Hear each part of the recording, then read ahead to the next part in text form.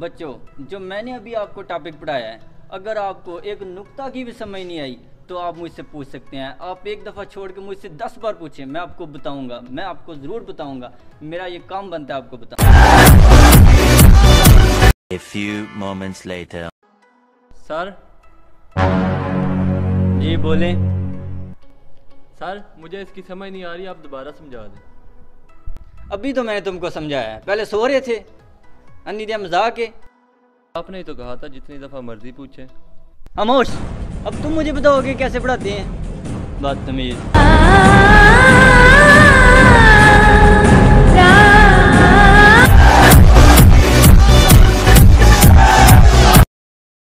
Sir मुझे इधर से ज़रा भी समझ नहीं आई। एक दफ़ा आप दोबारा समझा देंगे?